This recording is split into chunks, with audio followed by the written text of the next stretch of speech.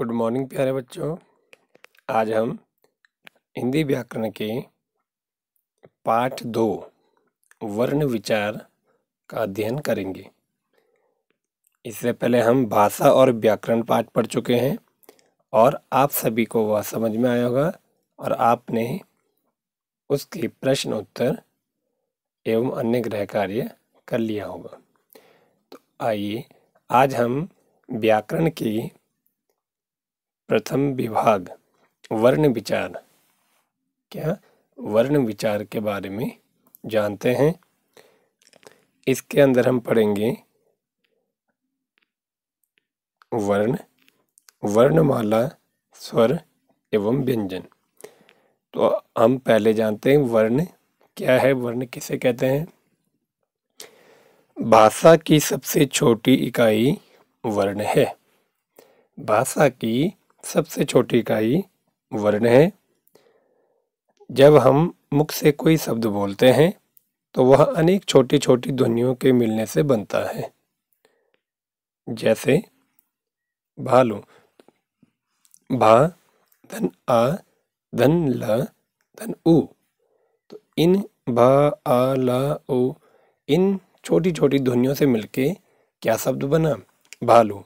और हम कहेंगे भालू आ रहा है, भालू जा रहा है। तो इसमें दो तीन जो शब्द हैं, ये छोटे छोटे वर्णों से मिलकर बने हैं। इन ध्वनियों को ही वर्ण कहते हैं। जो ये छोटी छोटी ध्वनि है, इन्हें वर्ण कहते हैं। अतः हम परिभाषा बनाएँगे वर्ण की। भाषा की वह सबसे छोटी ध्वनि, जिसके पुनः टुकड़े ना हो सकें, वर्ण कहलाती है। भाषा की वह सबसे छोटी ध्वनि, भाषा में जब हम ध्वनि ध्वनि का प्रयोग करते हैं और उस ध्वनि, सबसे छोटी ध्वनि का जो लिखित रूप है, वही क्या है? वर्ण कहलाता है, वर्ण कहलाती उसके पुनः टुकड़े, भाषा है, भाषा में एक एक वाक्य होते हैं ना, हम एक एक लाइन बोलते हैं, वाक्य। वाक्य के अंदर क्या होते हैं? शब्द होते हैं। ठीक है? और शब्द में वर्ण होते हैं, स्वर होगा, व्यंजन होगा, और उस वर्ण के टुकड़े नहीं हो सकते। ठीक है? जैसे में घर बनाते हैं, घर में दीवार बनती है ना, दीवार किससे मिलके बनी है?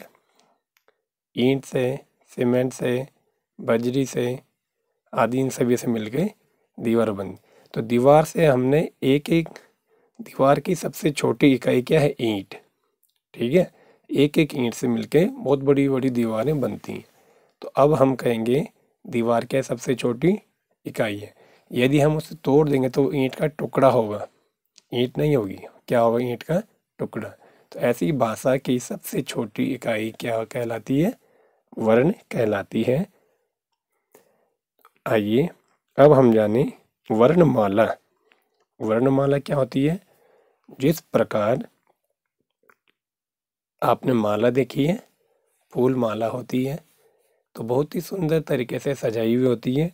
तो आइए हम जानते हैं, विद्वानों ने हमारी हिंदी की जो वर्णमाला है, हिंदी भाषा की, वह किस प्रकार सजाई है?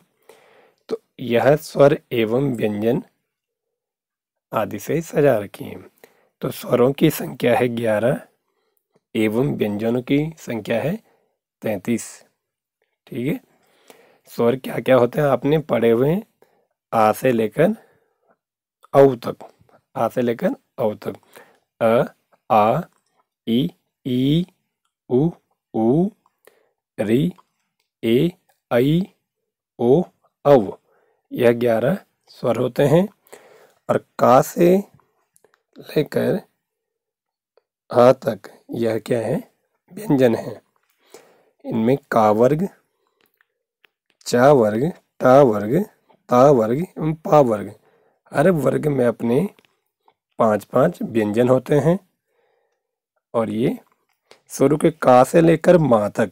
काखा गागा गा चाचा जाजा या टाठा डाडा अणा ताथा दादा ना पाफा बाबा माँ।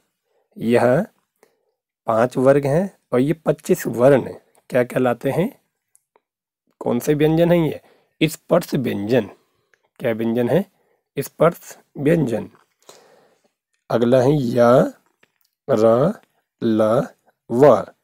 ये चार वर्ण अंतस्थ अंतस्थ व्यंजन कहलाते हैं। आगे, श श, स, ह। यह चार ऊष्म व्यंजन कहलाते हैं। तो यह हमारे ग्यारह स्वर हैं, एवं तैतीस व्यंजन हैं।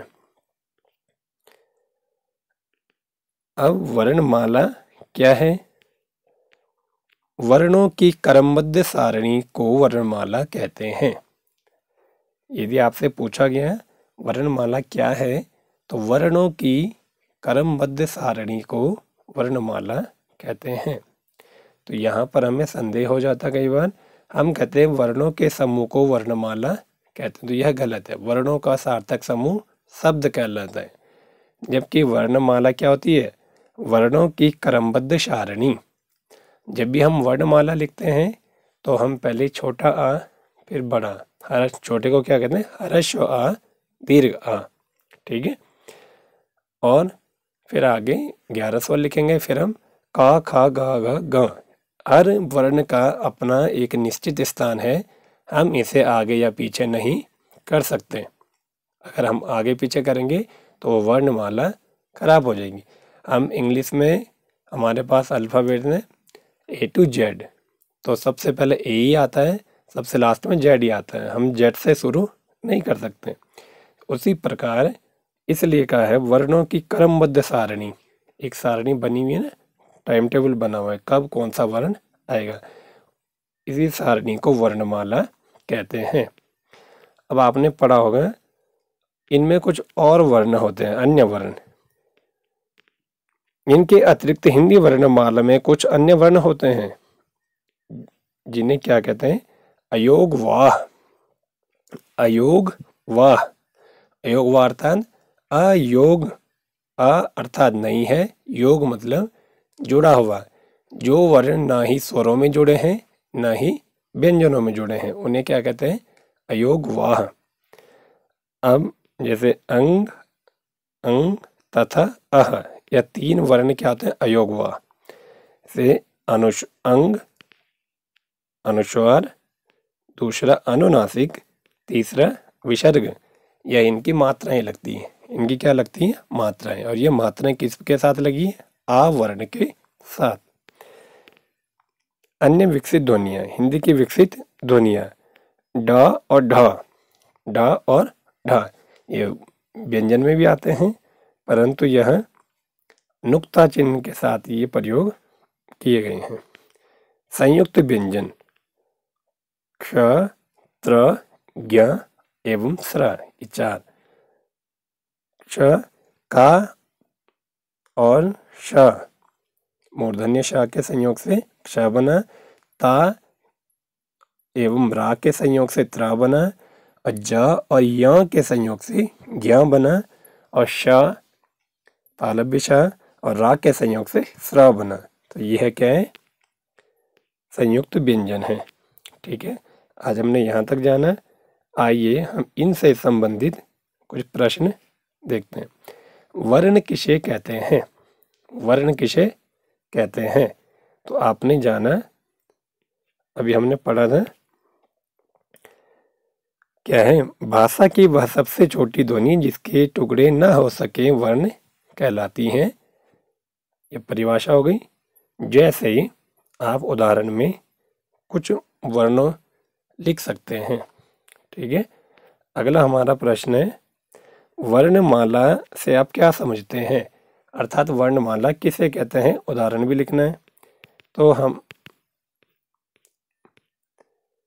वर्णमाला हमारी यहाँ से स्टार्ट हुई तो हम पहले तो परिभाषा लिखेंगे। वर्णों की क्रमबद्ध सारणी को वर्णमाला कहते हैं। हिंदी वर्णमाला में ग्यारह स्वर एवं तैतीस व्यंजन होते हैं, जो निम्न प्रकार से हैं। ये पूरी वर्णमाला आप बनाएँगे। ठीक है? तो आशा है आपको यह समझ आया होगा। तो आप ये दो प्रश्न करेंगे। धन्यवाद।